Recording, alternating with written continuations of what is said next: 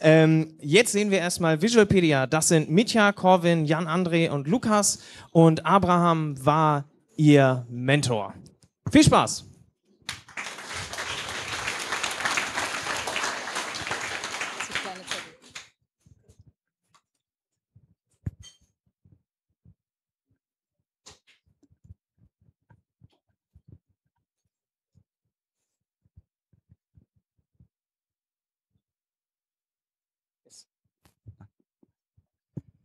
Sehr geehrte Damen und Herren, auch nochmal ein Hallo von uns. Wir sind die Gruppe Vigipedia. Sie werden sich jetzt sicherlich fragen, was dieses Projekt ist und in diesem Vortrag werden wir darauf eingehen und dazu wird jetzt erstmal Corven mit der Idee beginnen.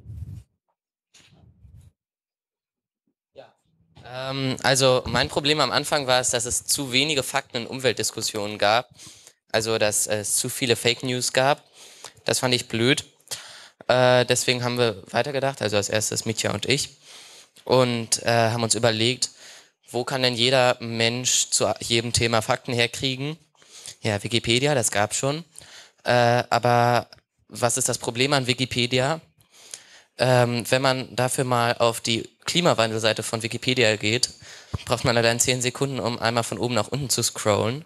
Und äh, ja, das liest sich niemand so wirklich durch. Deswegen, ähm, lange Texte sind doof. Das will niemand. Und äh, deswegen haben wir uns überlegt, was müssen wir denn machen? Da sind wir zu unserer Mission gekommen. Wir sollten eine Plattform machen, die übersichtlich, vernetzend, lehrreich und nicht lerndemotivierend ist. Also wir ähm, nehmen die guten Sachen aus Wikipedia und tun unsere eigenen guten Sachen dazu. Ähm, nach relativ viel Stress, ob wir es schaffen und relativ viel Mate, sind wir zu unserer Lösung gekommen. Visualpedia. Aber bevor ähm, wir den Prototyp zeigen, äh, wird erstmal Mitya was dazu sagen. Ähm, genau.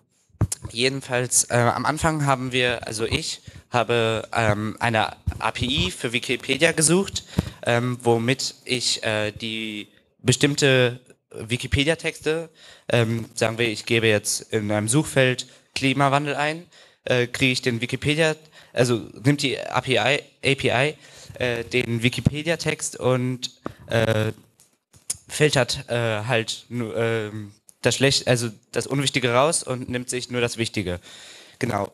Äh, Corvin hat äh, das Frontend gemacht und ähm, die API war in Java und äh, das hat zu Problemen geführt, weswegen wir ähm, also zu Problemen mit äh, der Kommunikation zwischen dem Programm und der Website. Deswegen sind wir auf JavaScript umgestiegen. Ähm, und Jan André äh, möchte euch jetzt den Code vorstellen. Okay, wir haben die, die Webseite mit HTML erstmal gemacht. Da, danach, danach haben wir ähm, es verbunden mit dem Wikipedia-Server, mit JavaScript und alles schöner gemacht haben wir mit CSS. Also das ist das Frontend. Wenn man zum Beispiel hier sieht, nein, das ist das Backend. Da. Also das ist das Frontend. Hier wird ähm, beim zum Beispiel Suchknopf wird diese Funktion ausgeführt.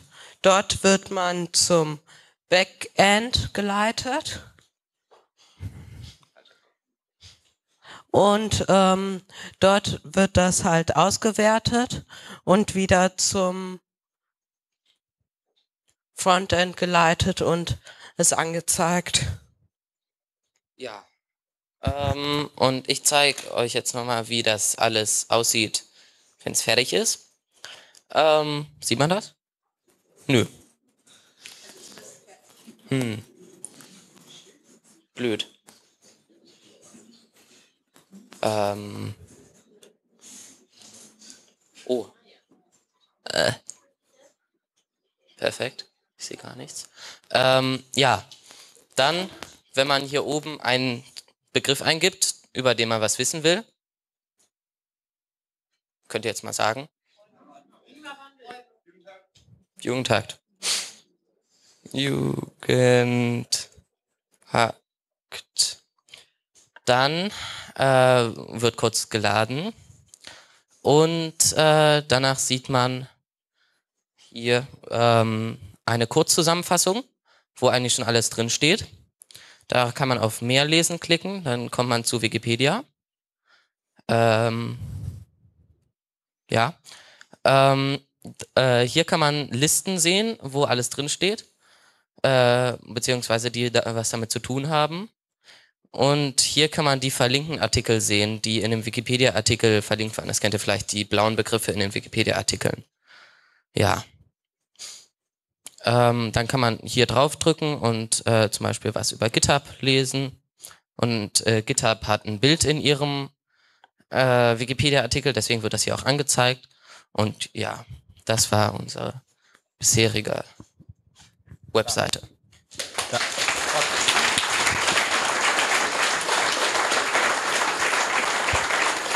Bin ich nicht mehr zu Wort gekommen.